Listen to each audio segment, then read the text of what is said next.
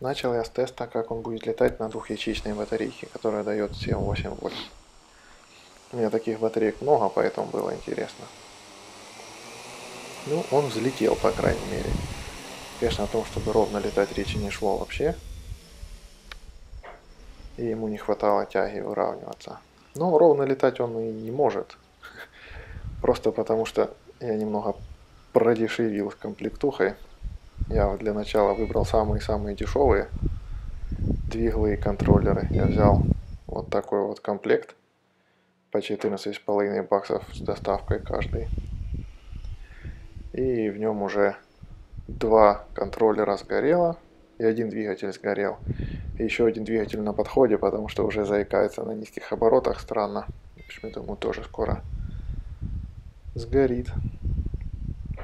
В результате я докупил еще один контроллер левый, один контроллер самолета воткнул и один двигатель самолета воткнул, который совсем с другим числом оборотов. То есть, поэтому я говорю, что ровно он летать не должен.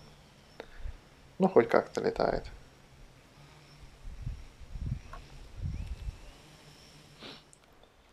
А вот на четырехячейной батарейке летает довольно неплохо, особенно для такой конфигурации двигателей.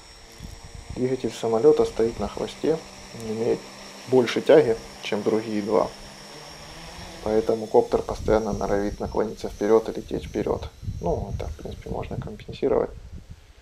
Контроллер тоже делает свое дело, но все-таки такая большая разница в двигателях ему тяжело дается. Зато получалось долго летать вокруг и вполне осознанно направлять его туда, куда мне хочется.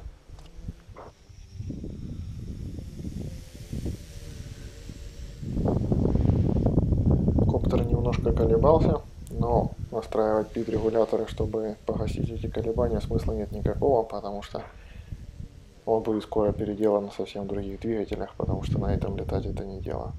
Я уже заказал три нормальных двигателя и пару контроллеров. Они, правда, похоже, такие же хреновые, как и те, на которых он сейчас летал, и вас сжег, но ничего. Может, с нормальным двигателем они чуть лучше себя покажут.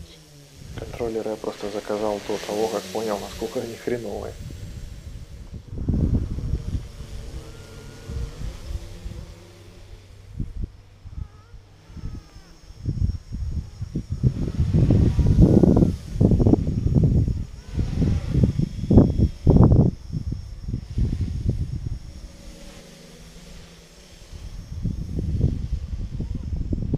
Фоне стонет дочурка, она у мамы в слинге и под курткой, но все равно жалуется на ветер холодный.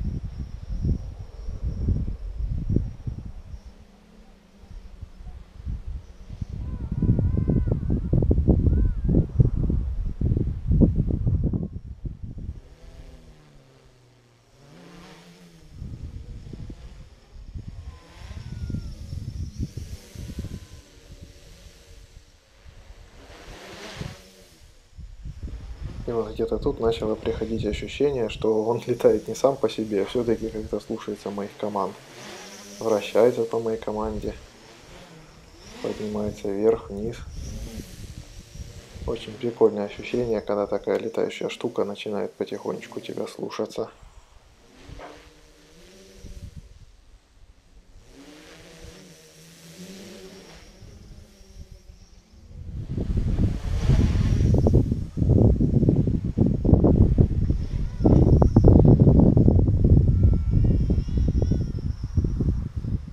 Но ощущение контроля не помешало мне его уронить немножко не там, где я хотел.